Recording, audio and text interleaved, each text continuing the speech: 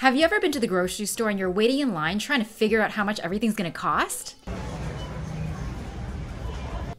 Today we're gonna learn how to round decimal numbers. For Ontario teachers, this is introduced in grade 4, Expectation B 1.8. So let's remember why do we round?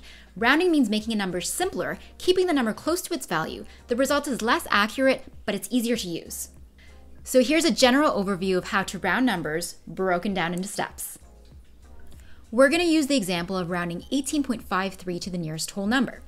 So step one is to find the rounding digit and look to the digit on the right. So since we're rounding to the nearest whole, this, in other words, is asking to round to the ones place value. I like to circle this rounding digit and underline the digit to the right. Step two, everything to the left of the rounding digit stays the same. Don't change it, so let's write down the one.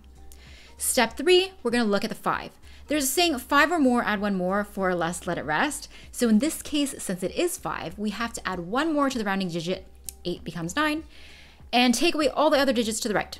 So the answer is 19. Let's do another one.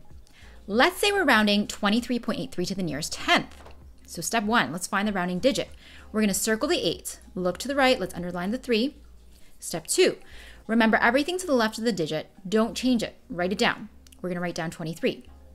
Step three, four. Let's look at the three that we underlined. So because this number is less than four, we keep the rounding digit. It stays as an eight, and we don't need to write the numbers after it. My answer is 23.8. Let's do a tricky one. Let's round 49.75 to the nearest whole number. So step one, let's find the rounding digit. We're gonna circle the nine, look to the right, let's underline that seven. Step two, remember everything to the left of the rounding digit stays the same. So we're gonna write four. Step three, four, let's look at the seven that we underlined. This number is greater than 5. We have to add 1 to 9. But what's 9 plus 1? That's 10.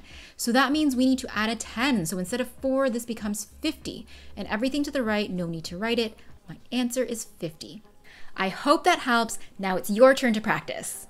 For more practice questions and Ontario Aligned solutions, head on over to my website or see the caption below.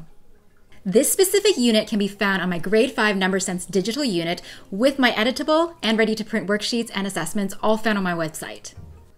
Don't forget to hit subscribe for more tutorials.